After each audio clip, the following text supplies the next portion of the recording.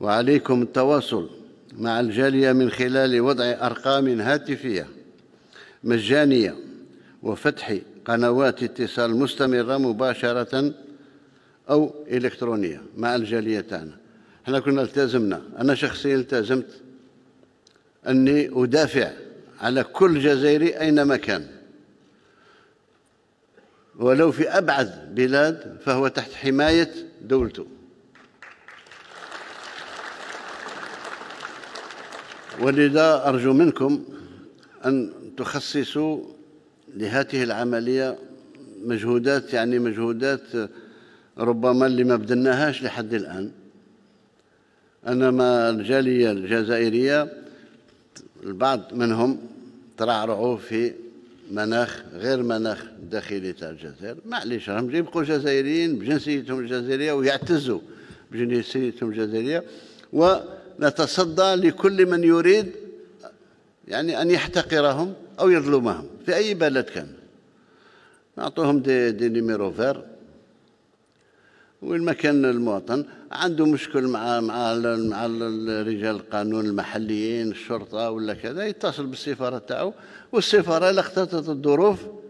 أنا ما نشوف حتى منع باش في الميزانية يكون عندكم بند يسمح لكم باش تخلقوا مجموعة تاع محامين أساسهم الدفاع الجزائريين.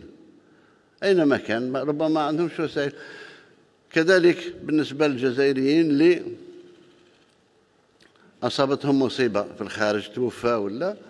يعني هذه ما بدون نقاش. المهم أن الجثمان يصل إلى الأهل هنا ويقوموا بالجانب تاعهم الواجب تاعهم الوثائق نصلحها من بعد مع السفارة مع القنصلية ومع ما هوش هذا اللي غادي يعني يتسبب في في في مصاريف مالية كبيرة ولا مهم. أننا نعرف أن الإنسان بصفة عامة وبالأخص اللي عايش في الغربة لما يفقد عضو من من العائلة نتاعو ويبقى يعني وحده.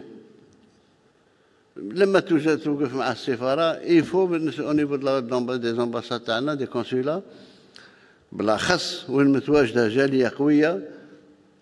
تكون عندكم des accompagnateurs بالنسبة للجزائريين اللي يعني راهم مصابين مثلهم مثل غير.